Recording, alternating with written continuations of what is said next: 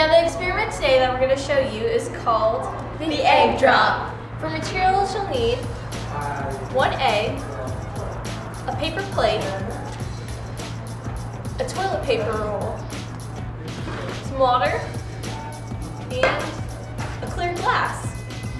Okay, so what we're gonna do first is slowly pour the water into the cup until it's about three quarters full.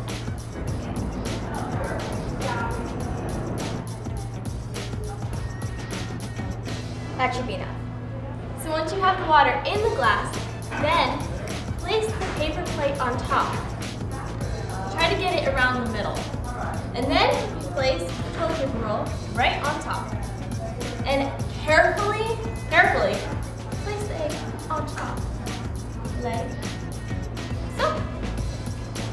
And now, once you do this, you want to make sure you hit the plate. And when you do this, follow through. So you go all the way around like that.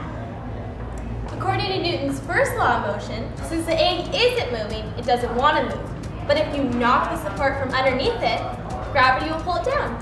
Make sure that the toilet paper roll is directly above the glass. Ready? Yeah? Uh-huh. Make sure you follow through. Right. Okay. One, two, three.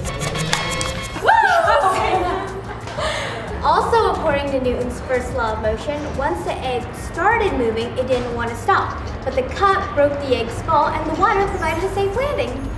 And since gravity pulled the egg down, the water was forced out, causing this mess, so you may need a towel for cleanup. Well, that's it for this experiment. But the fun does not stop here. For more information, go to STEMjam.com.